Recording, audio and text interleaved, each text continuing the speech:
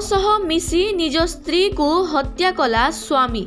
ଏପରି ଏକ ଅଭାବନୀୟ ଘଟଣା ଘଟିଛି ମାଲକାନଗିରି ସନ୍ଧିଗୁଡ଼ା ଗାଁରେ।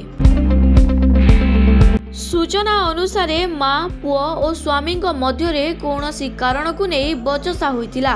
ପରେ ଏହି ସାମାନ୍ୟ ବଚସା ଉଗ୍ର ରୂପ ନେଇଥିଲା। ଶେଷରେ ପୁଅ ସହ ମିଶି ନିଜ ସ୍ତ୍ରୀଙ୍କୁ ହତ୍ୟା କରିଛନ୍ତି ଜଣେ ସ୍ୱାମୀ।